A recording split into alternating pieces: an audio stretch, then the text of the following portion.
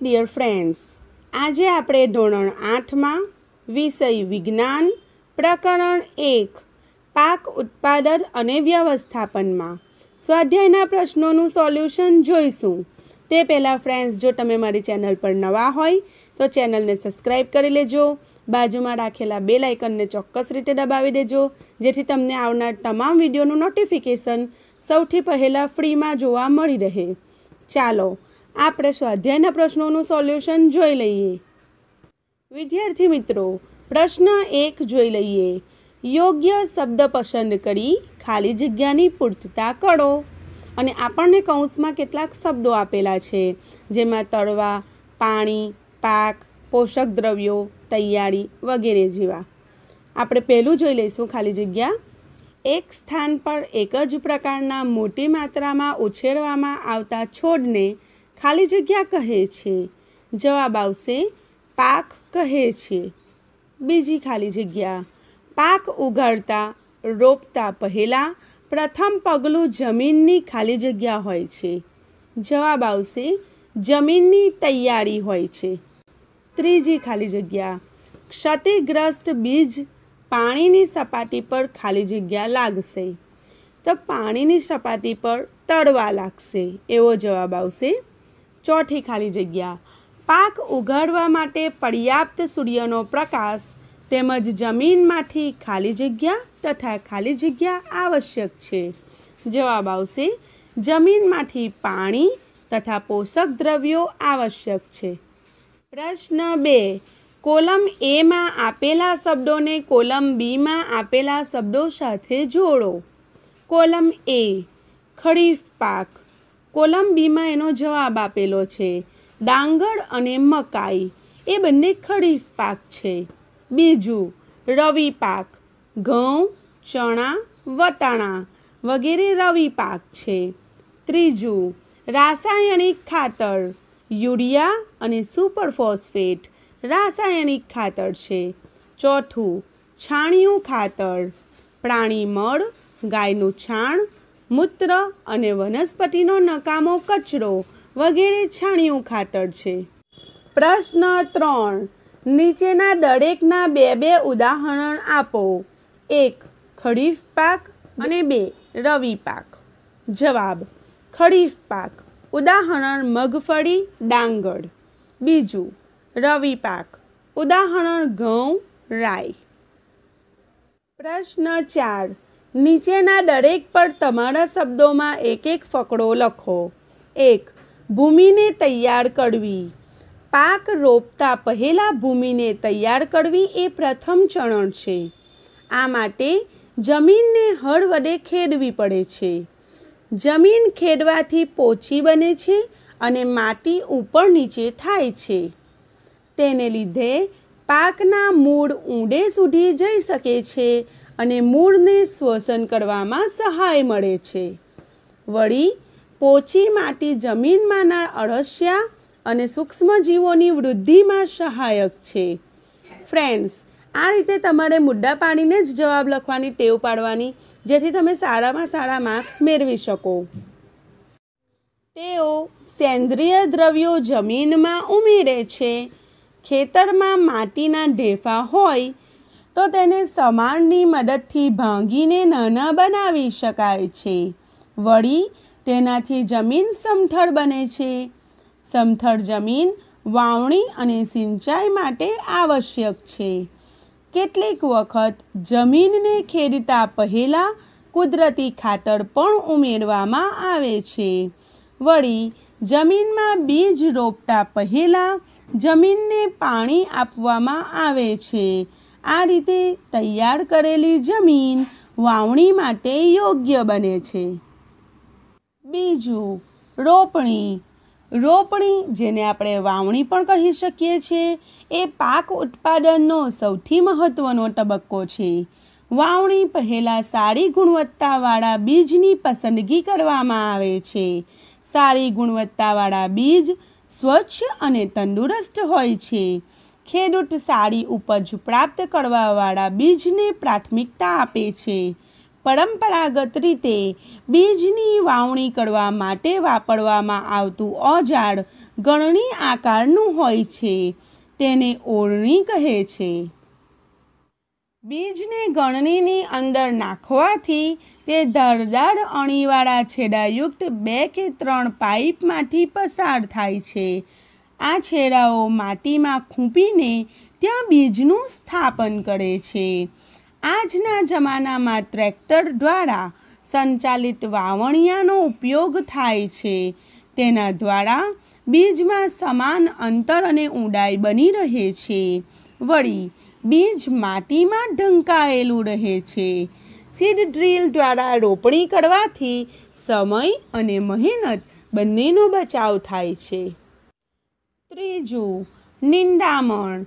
નિંદણને દૂર કરવાની ક્રિયાને નિંદામણ કહે છે. નિંદણ દૂર કરવું આવશ્યક છે, એટલે કે જરૂરી છે.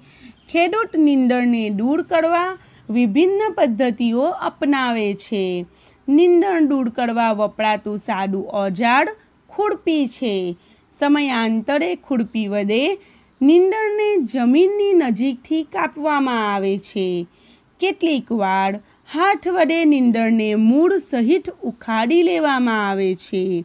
વળી પાક ઉગાડતા પહેલાં ખેતરમાં ખેડ દ્વારા નીંદણ દૂર કરવામાં સહાયતા મળે છે. એનાથી નીંદણ ઉખડી જાય છે, સુકાઈને મળી જાય છે અને માટીમાં ભળી જાય છે. વાવણીમાં વાવણિયાના ઉપયોગ વખતે પણ નીંદણ દૂર થાય છે. નીંદણને કેટલાક રસાયણોની મદદથી પણ દૂર કરવામાં આવે છે. એ રસાયણો જે ચોક્કસ પ્રકારના હોય છે, તેને આપણે નીંદણનાશક કહીએ છીએ. ટુ ફોર ડી એ નીંદણનાશક છે. ખેતરમાં તેનો છંટકાવ કરવાથી નીંદણનો નાશ થાય છે. પરંતુ મુખ્ય પાકને નુકસાન થતું નથી. નીંદણનાશકને પાણીમાં યોગ્ય પ્રમાણમાં ભેળવીને સ્પ્રેની મદદથી ખેતરમાં છંટકાવ કરવામાં આવે છે. ચોથું, થ્રેસિંગ. પાક જ્યારે પૂર્ણ પરિપક્વ થઈ જાય, ત્યારે તેની કાપણી એટલે કે લણણી કરવામાં આવે છે. કાપવામાં આવેલ પાકમાં બીજ કે દાણા કણસલામાં હોય છે. કણસલામાંથી દાણા છૂટા પાડવાની ક્રિયાને થ્રેસિંગ કહે છે. આ માટેનું યાંત્રિક સાધન થ્રેસર છે. વળી, લણણી કરવાનું હાર્વેસ્ટર અને થ્રેસર બંનેનું સંયુક્ત સ્વરૂપ કમ્બાઈન મશીન છે. તેના દ્વારા લણણી કરી શકાય છે અને દાણા પણ છૂટા પાડી શકાય છે. પ્રશ્ન પાંચ. સમજાવો કે કૃત્રિમ ખાતર કઈ રીતે કુદરતી ખાતરથી અલગ છે? જવાબ, કૃત્રિમ ખાતર એ કુદરતી ખાતરથી નીચેની રીતે અલગ છે. કૃત્રિમ ખાતર રાસાયણિક પદાર્થો છે. કુદરતી ખાતર એ સેન્દ્રિય પદાર્થો છે. તે કાર્બનિક પદાર્થોમાંથી બને છે. કૃત્રિમ ખાતરનું નિર્માણ કારખાનામાં થાય છે, જ્યારે કુદરતી ખાતર ખેતરમાં કે ઘર આંગણે બનાવી શકાય છે.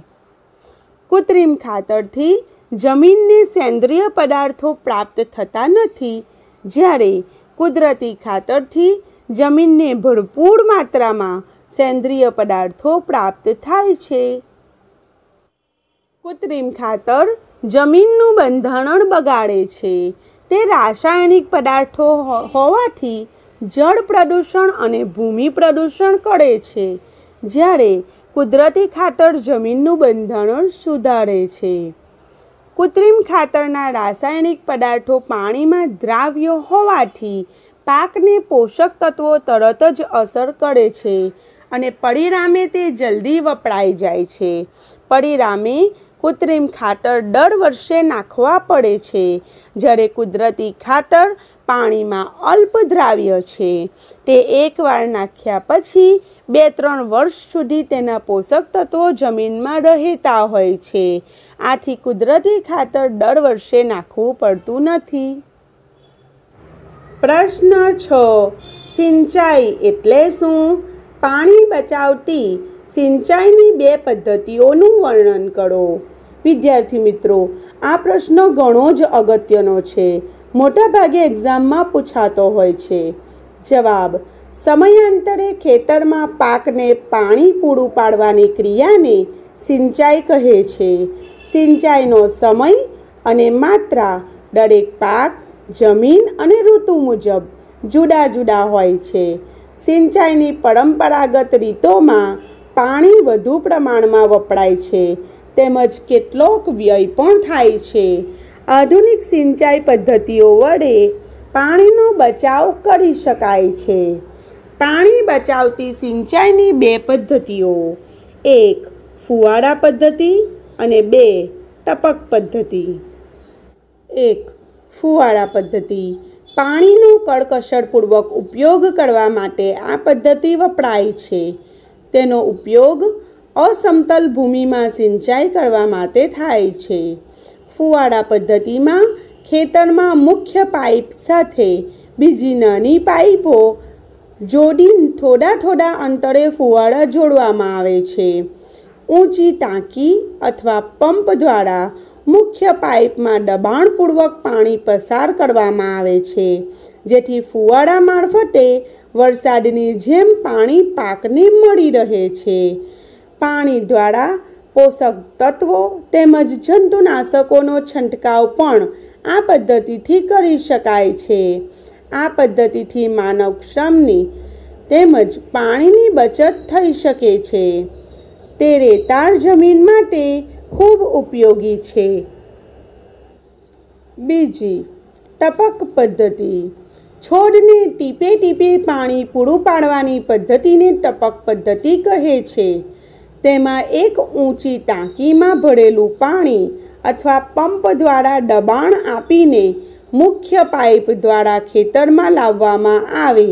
મુખ્ય પાઇપને શાખાઓ અને ઉપશાખાઓ પાડી પાઇપને નિયત અંતરે પાણી જવા માટે દ્રોપર લગાવેલા હોય છે.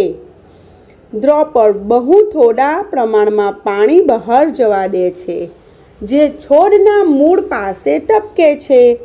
આ પદ્ધતિ પાણીની અછતવાળા પ્રદેશોમાં આશીર્વાદરૂપ છે.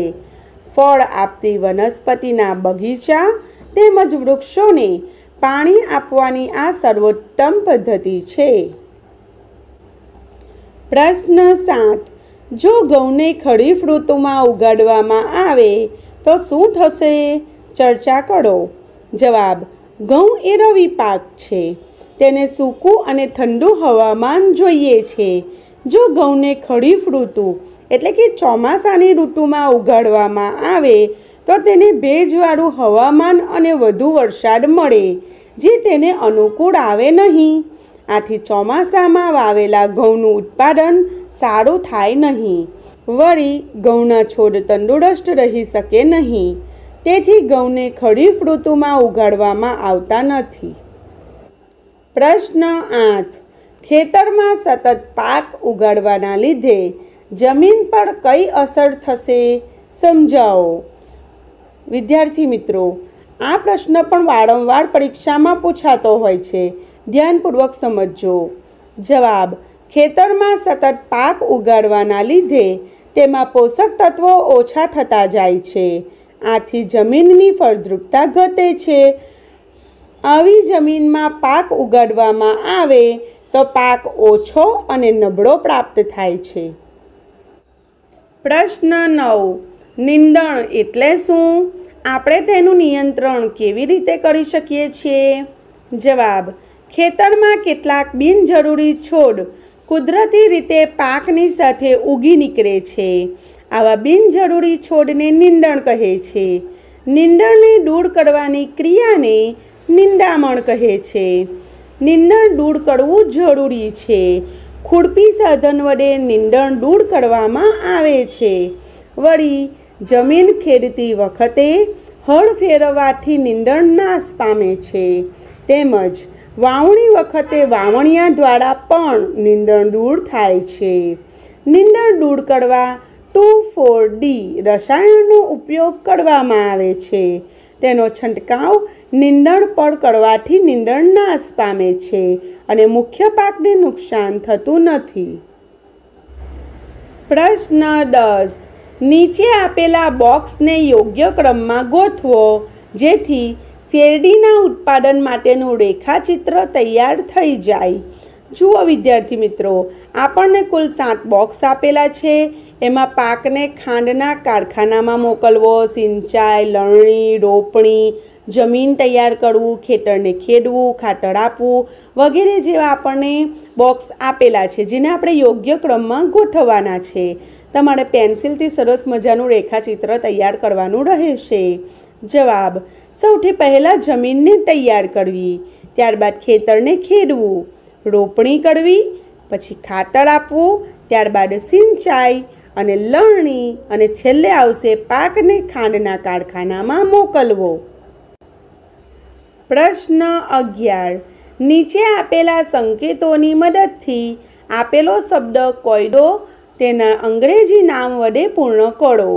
કૌંસમાં આપણને કેટલાક અંગ્રેજી નામ આપેલા છે અને અહીં ઊભી ચાવીમાં પાકને પાણી આપવું, પાકના દાણાઓને લાંબા સમય સુધી વ્યવસ્થિત સ્થિતિમાં રાખવા અને વનસ્પતિ કે જેને મોટા પાયે ઉછેરવામાં આવે છે. અને આડી ચાવીમાં ત્રીજું, મશીન કે જે પરિપક્વ પાકને કાપવા માટે વપરાય છે. પછી રવિ પાક કે જે એક કઠોળ છે. અને છઠ્ઠું, ભૂસામાંથી દાણાઓને છૂટા પાડવાની પદ્ધતિ.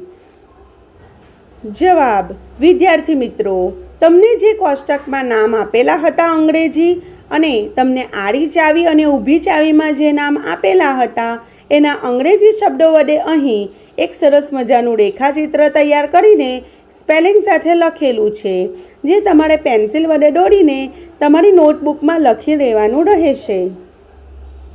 ફ્રેન્ડ્સ, સ્વાધ્યાયના બધા પ્રશ્નો એકંદરે સરળ છે અને તમને સમજાઈ પણ ગયા હશે.